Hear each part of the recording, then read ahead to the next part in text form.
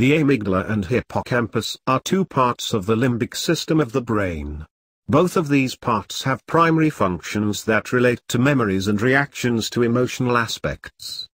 These two parts, as part of the limbic system as a whole, deal with how the human brain processes these emotions and memories. Humans have complex brains that are divided into sections and subsections.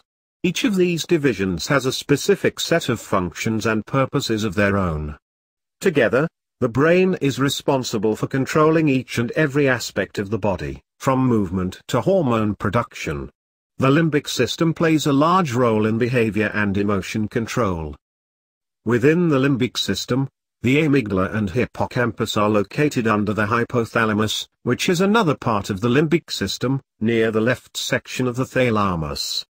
Combined, the two parts deal primarily with forming long-term memory, processing emotions, and determining how those emotions are tied to memories.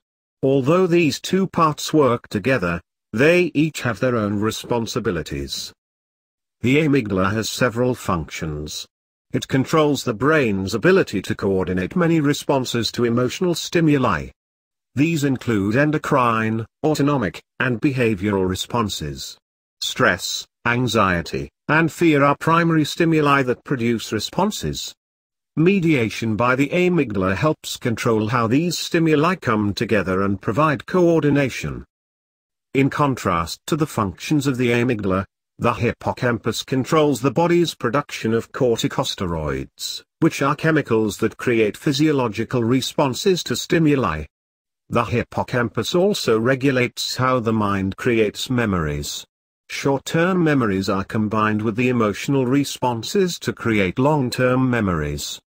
Additionally, studies also suggest that the hippocampus acts as a map by creating a layout of an environment a person experiences, referred to as a cognitive neural map.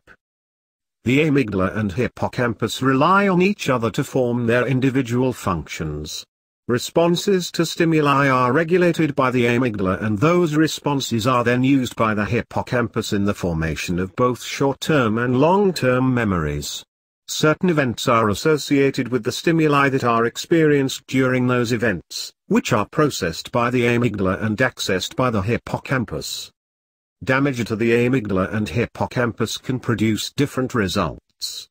If the amygdala is damaged and cannot function properly, a person can seem void of emotion because there is no response to stimuli. Hippocampus injury can vary in the results depending on which side is damaged, and the extent of the damage. Generally, memory function is altered. Patients who have Alzheimer's disease often have damage in the hippocampus.